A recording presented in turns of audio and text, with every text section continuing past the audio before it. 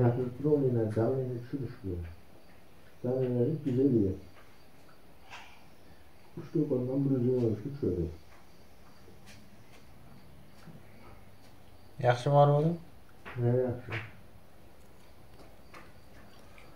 To'xtatib qo'yib